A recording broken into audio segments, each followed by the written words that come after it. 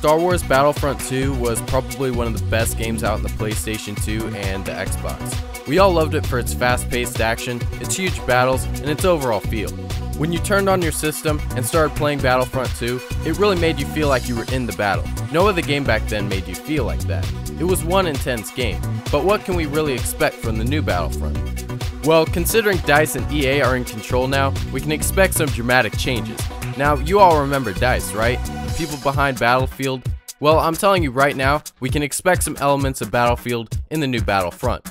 Now, I'm not saying it's going to be Battlefield in third person, no, I'm saying some of the key features from Battlefield might slip into the new Battlefront. Some destruction to the environment might be one of those features.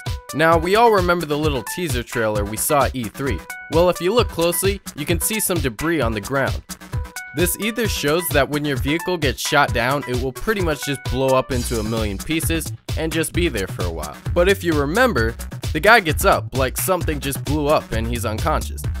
Now, the debris could have been pieces from a building or structure that he may have been in or was next to. I don't know, it could go either way.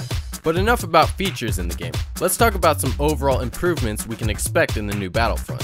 Well, we can definitely expect better graphics, better audio, and better textures, but there's one thing that people really don't think about and kind of skim over. I'm talking about maps. The maps in the new Battlefront will definitely be bigger.